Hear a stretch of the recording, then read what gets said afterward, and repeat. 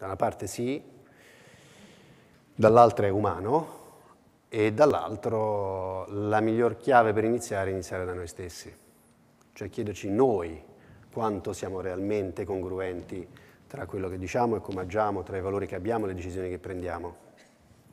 Perché poi è quello veramente il punto di partenza. Se noi cominciamo a essere veramente allineati rispetto a chi siamo, acquisiamo un potere che è veramente superiore a quello che abbiamo oggi.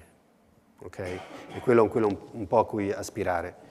E la mia esperienza è che quando tu hai dei leader in un'organizzazione che sono centrati e che quindi questo attaccamento alle persone ce l'hanno innanzitutto verso loro stessi, in senso positivo, non in senso egocentrico, generalmente poi vedi che poi l'organizzazione è un'organizzazione in cui si presta attenzione all'essere umano, perché innanzitutto c'è una consapevolezza al vertice, no? c'è, c'è, un detto che si usa diciamo, nel, nel mondo dello sviluppo organizzativo